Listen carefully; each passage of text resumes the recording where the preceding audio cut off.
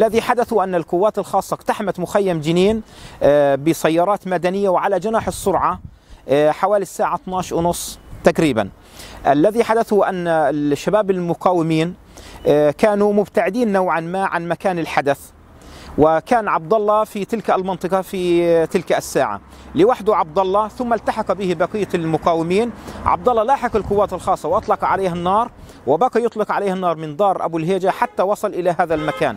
والقوات الخاصة التي اختطفت عماد أبو الهيجة اشتبكت مع عبد الله ولم تستطع إصابته بل عبد الله هو الذي ألحق بها إصابات حسب اعتراف العدو الذي اعترف بإصابتين.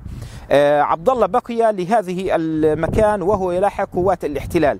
الذي آه أصاب عبد الله وأدى إلى استشهاده هو قناص في عمارة خلفنا. تظهر أمامكم آه، أمام مشاهدينا في الصورة خلفنا.